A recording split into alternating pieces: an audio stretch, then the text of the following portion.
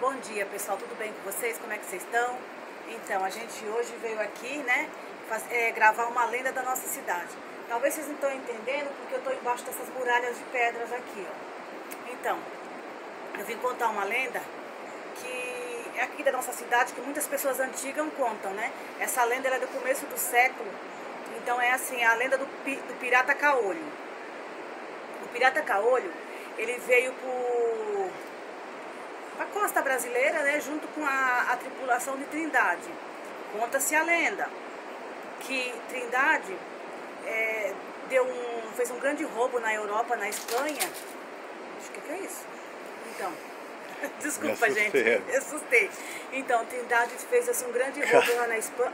Que é isso? Nossa. E, e ele veio com a tripulação, esse, esse, esse caolho, o nome dele não era caolho. Ô gente, esse negócio aqui tá meio estranho, hein? Uhum. Então, e ele veio com a tripulação de, de Trindade aqui para a costa brasileira.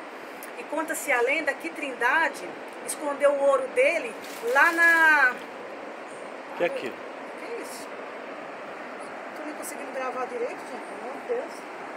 Olha lá, Cláudio. Cláudio. Não, não é nada. Continua, vamos gravar. Continua. Deve ser. Aqui. Gente, aqui é uma. Nossa, é, aqui a, a praia fica ali embaixo, né?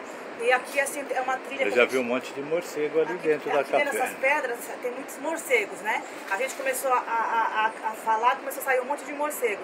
A gente subiu a trilha ali como o senhorzinho explicou. O senhorzinho falou, olha, vocês vão, sobe aquela trilha, embaixo daquelas pedras, que supostamente esse pirata caolho escondeu o ouro dele aqui, né? Nessa redondeza aqui dessas pedras. Então a gente veio contar essa lenda, né? Tá difícil, porque ó, já saiu o morcego, é barulho de mato. Olha ali. Pera aí. Que é aqui? Nossa. Nossa, primeira vez que a gente vai contar uma lenda que não dá certo, né? Vamos continuar. Ó, tá vendo? Ah, gente, continuar. Tá, você já sabe que eu sou meio medrosa. O que será, gente? Será que é alguma coisa? Não sei. Ah, não tem ninguém, não vem ninguém na mata com a gente. Ah, não deve ser passarinho, morcego, essas coisas. Os morcegos já foram embora. Então, pessoal, Aí volta-se, né? Que a Trindade escondeu o ouro na Ilha das Cobras, tanto que se vocês forem ver, há um tempo atrás, a, a, o povo da...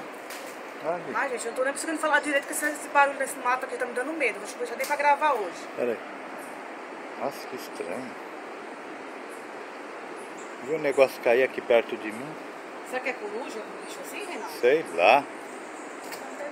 Vai, continua. Então, gente, vocês desculpem, é que tá meio difícil. Então, é, teve uma, uma, uma, televisão que já veio um tempo atrás fazer uma, uma, uma série na Ilha das Cobras para ver se encontrava essa, esse ouro de Trindade.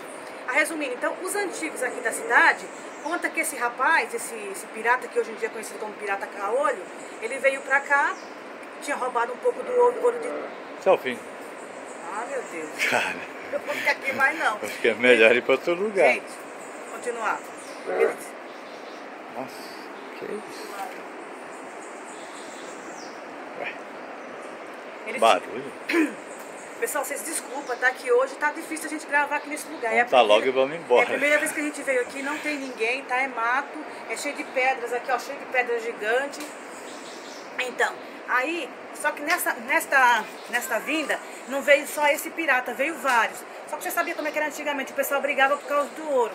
E esse rapaz, ele levou uma, uma espadada no olho e ele vazou o olho dele. Por isso que é conhecido como pirata caolho. E ele matou muita gente, ele fez muita maldade. E conta-se a lenda que ele escondeu o ouro dele aqui nessa parte, nessa redondeza, aqui nessas pedras. Então muita gente, agora não, porque agora é uma lenda que ficou no passado, né? Então só pessoas muito antigas da cidade que comentam sobre isso. E eu encontrei um senhorzinho esses dias, ele me falou sobre essa lenda e me explicou onde que era esse lugar, é aqui.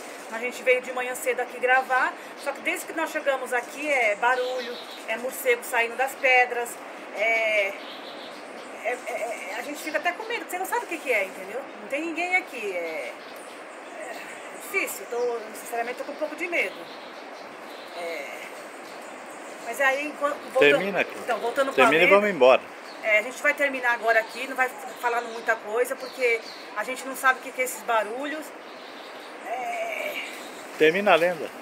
gente, eu tô tão assim fora de. Olha, tá ouvindo? Maria que é aqui? Agora mexeu a árvore ali. Será que... Eu vi. Olha lá. Olha lá, Cláudia. Pega a bolsa, pega a bolsa. Cuidado com esse Cláudia. Vem, Cláudia, vem, Cláudia. Tá tudo bem, filho? Ai, tá tudo bem. O que, que foi aquilo, meu Deus do céu? Olha, Ai, vamos embora, vamos embora, Reinaldo, vamos embora. Vai, vai, vai, vai, corre. Corre, Ai, ai, ai, ai. corre. Vamos. Cláudia, vai, vai, vai, vai, vai, corre, corre. O que que é Corre, corre. Um barulho ali atrás, é isso, Nossa. cara? Caramba, você viu um barulhão ali atrás? Nossa, vamos, vamos embora. Fala depois. Pessoal, é, a gente veio gravar hoje, né? A gente subiu essa mata aqui, que foi lá pra gravar a lenda do, do Pirata Caolho, mas a gente não conseguiu gravar porque... Um vocês- barulho estranho. Vocês viram um barulho estranho? Era E vinha atrás da gente, você É, viu? o que era ver correndo atrás da gente até aqui. A gente. Eu tô até. Tô nem sabendo que eu tô falando direito, né? Porque já, a gente já caiu, é, é correria e era atacando pedra. Primeiro saiu os morcegos da pedra. Já começou com morcegos.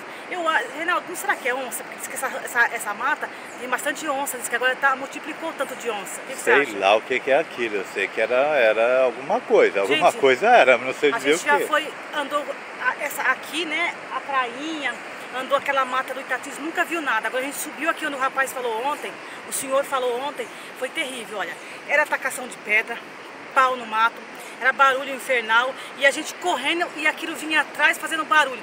Eu não olhei pra trás, você olhou, Reinaldo? Eu não, eu olhei, mas não vi nada. A gente. Parecia que tinha uma mancha preta assim, mas nem, nem deu tempo, né? E aqui não tem ninguém, porque aqui é uma mata que não tem ninguém, entendeu? É só quem é da cidade mesmo, assim, os, os caiçaras de antigamente que conhece essas trilhas que tem aí, sabe? Ah, Eu, eu conheço porque eu sou daqui da cidade, entendeu? E o senhor explicou direitinho como que era. Pessoal, eu tô muito nervosa, eu vou pra casa, minha cabeça tá explodindo de dor também, a gente passou um medo aí na mata. Fiquem com Deus, obrigado, tá? Depois a gente conversa mais, a gente vai gravar de novo.